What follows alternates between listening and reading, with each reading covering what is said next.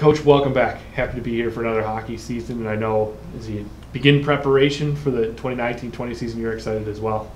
Yeah, no, we're, we're really looking forward to it. Uh, you know, the summer, uh, I enjoyed it. It went quickly, but you know, you get to this point now. You're ready to play. You're ready to get moving, and uh, a lot of preparation goes into this uh, throughout the course of the summer. It, you know, whether it's our renovations in the locker room that we we, we did, um, the summer hockey camp, uh, recruiting. So there's a lot of things that we did during the course of the summer to hopefully improve our team uh, this fall. And you know, now it's time to put the product on the ice. Speaking of the product, one of the big things is 11 new bodies in that room this year. Uh, it changes things up a little bit, but uh, what have you liked so far about the guys and, as you've seen them start to get together and get to know each other and see them a little bit on the ice here? Well, I think it, has got a really good feel to it, um, Harrison. I, I, I, feel like uh, already it's a pretty tight knit bunch. The we've got ten freshmen and a grad transfer for our eleven new players, and and to try to uh, mix those those guys into the culture and everything, it, you know, it could be difficult, but it hasn't been. I think that's a testament to our, our returning older players, but also it's a testament to uh, the eleven new guys. They they seem to fit in very well. So I like the work ethic that I've seen. I, I like their approach in the weight room. Um, I, I, just, I, it, to me, even though we're we're really young, it, it, seems to be a group that's mature beyond their years. It, it's already as though we have a maturity about this team, uh, and, and, it seems like we have a group that really wants to accomplish a lot. So uh, I, am looking forward to it. You know, now it's uh, you know a few weeks of practicing, and then uh, not too long in the future, we're going to have a few games to play.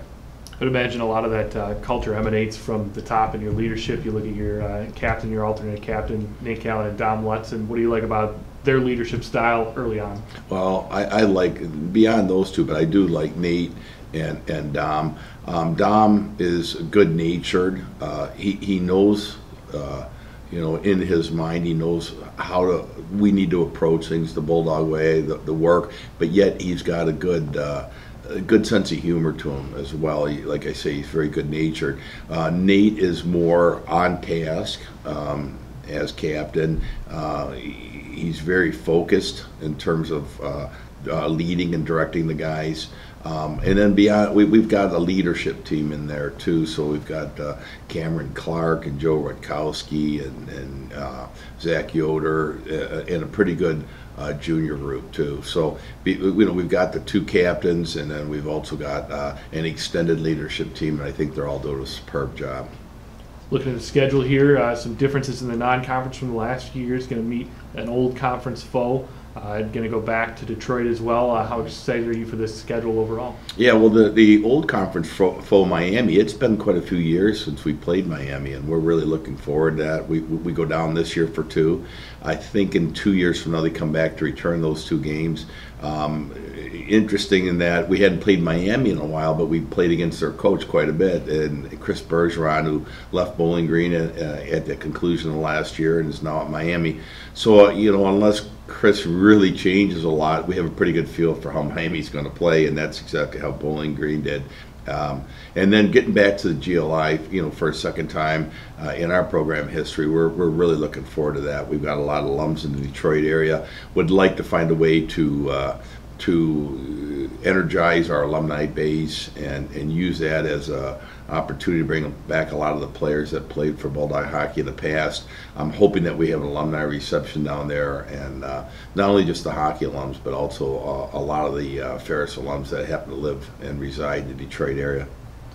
You know, the team is successful this year. What does that look like on the ice to you? What kind of play style are you hoping to see out of the guys in order to have success this season? Yeah, you know, it's hard in my mind, and and uh, I'm, I'm I haven't really put any kind of goal necessarily, but in my mind, I'd like to see us uh, in the hunt for home ice.